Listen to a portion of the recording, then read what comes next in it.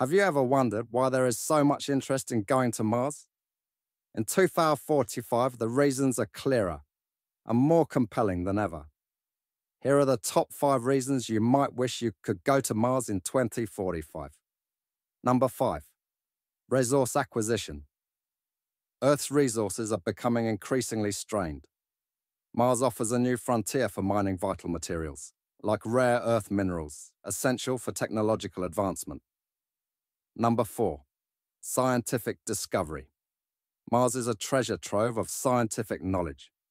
Studying its geology, atmosphere, and potential for past or present life could unlock fundamental secrets of the universe. The data we're collecting here is rewriting textbooks back on Earth. The potential for new discoveries is limitless. Dr. Thorne said as he collected a sample. Number three, terraforming and colonization. Mars represents humanity's best chance for becoming a multi-planetary species.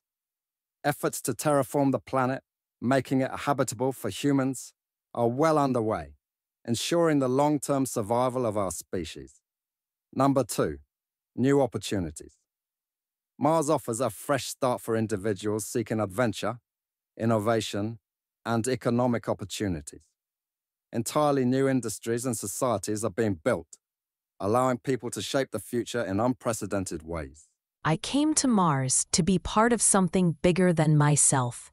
Here, the possibilities are endless. Anya exclaimed while walking towards a hydroponics facility.